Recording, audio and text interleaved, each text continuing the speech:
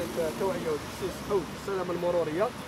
عندك هذه المطوية فيها جملة من النصائح والارشادات أنا نشوفوا دوك الأمطار هذه خفيفة تكون الأرض تجلب تروح بلاحق البرد عندك ثاني دقائق قبل الافطار لاحظنا السرعه المفرطه على السواق هذا بينا الله باش عندك هذا الدكتور الأوروبي جملة من النصائح والارشادات حول السلامه المرورية. عندنا خاصة دقائق قبل الإفطار موعد الإفطار شفنا بعض السواق والمواطنين عندهم إفراط في السرعة.